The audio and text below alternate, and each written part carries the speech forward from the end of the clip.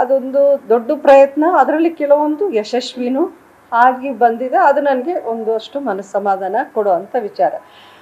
ಮೊಟ್ಟ ಮೊದಲನೇದಾಗಿ ನಾನು ಇಲ್ಲಿ ಮೀಟ್ ಮಾಡಿದ್ದು ಸುರೇಶ್ ಅಂಗಡಿ ಅವರು ರೈಲ್ವೆ ಮಿನಿಸ್ಟ್ರ್ ಇದ್ದಾಗ. ಅವರಲ್ಲಿ ಒಂದಷ್ಟು ನಾನು ಬೇಡಿಕೆಗಳನ್ನ ಇಟ್ಕೊಂಡು ಮಂಡ್ಯ, ಈಗ ಫಾರ್ ಇನ್ಸ್ಟೆನ್ಸ್ ಮಂಡ್ಯ ಟೌನಲ್ಲಿ ಆ ಪೇಟೆ ಬೀದಿಯಿಂದ ರೈಲ್ವೆ ಕಡೆಗೆ ಹೋಗೋದು ಜ, ಅದು ತುಂಬಾ ಒಂದು ಕ್ರೌಡೆಡ್ ಏರಿಯಾ ಜನ ತುಂಬ ಸಮಸ್ಯೆನ ಎದುರಿಸ್ತಾರೆ ಅನ್ಬೇಕಾದ್ರೆ ನಾನು ಒಂದು ನಾಲ್ಕು ಬಾರಿ ಪಿಯೂಷ್ ಗೋಯಲ್ ಅವ್ರನ್ನ ಸುರೇಶ್ ಅಂಗಡಿ ಅವ್ರನ್ನ ರಿಕ್ವೆಸ್ಟ್ ಮಾಡ್ಕೊಂಡು ಮೀಟ್ ಮಾಡಿ ಲೆಟರ್ಸ್ ಬರೆದು ಅದಾದಮೇಲೆ ಅದೊಂದು ಎಲ್ ಸಿ ಸೆವೆಂಟಿ ತ್ರೀ ಅನ್ನೋದು ಒಂದು ಅಂಡರ್ ಪಾಸು ಓಕೆ ಮಾಡಿದ್ರು. So I think in my first year within six months ನಾನು ಎಂ ಪಿ ಆದಾಗ, ಮೊಟ್ಟ ಆಸ್ ಮೈ ಕಾಂಟ್ರಿಬ್ಯೂಷನ್ ಅಂತ ಹೇಳೋಕ್ಕೆ.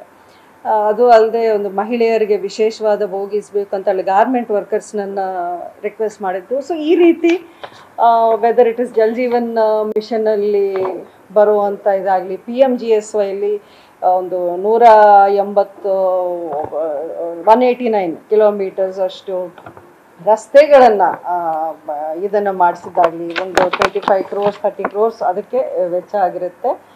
ಆಮೇಲೆ ಹೆಲ್ತ್ ಮಿಷನಲ್ಲಿ ಸಿ ಇವೆಲ್ಲ ಎಂ ಪಿ ಫಂಡ್ಸಲ್ಲಿ ನಾನು ಕೋವಿಡ್ ಸಂದರ್ಭದಲ್ಲಿ ಸಿ ಏನಾಗಿತ್ತು? ಎಂ ಪಿ ಫಂಡ್ಸು ಒಂದು ವರ್ಷ ಮಾತ್ರ ಇತ್ತು.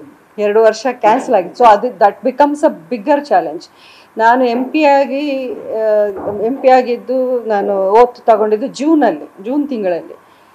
ನೆಕ್ಸ್ಟ್ ಜನವರಿಗೆ ಕೊರೋನಾ ಬರುತ್ತೆ. ಅಂದರೆ ನಮಗೆ ಒಂದು ನೈನ್ ಮಂತ್ಸ್ ಪೀರಿಯಡು ಸಿಗಲಿಲ್ಲ. ಬಟ್ ನಾವು ಎಷ್ಟು, ಅಂದರೆ ಒಂದು ಟೀಮ್ ಆಗಿ ಎಷ್ಟು ಕೆಲಸ ಮಾಡಿದ್ವಿ ಅಂದರೆ ಹಲವಾರು ಎಂ ಪಿಗಳನ್ನ ನೀವು ಕೇಳ್ಬೋದು.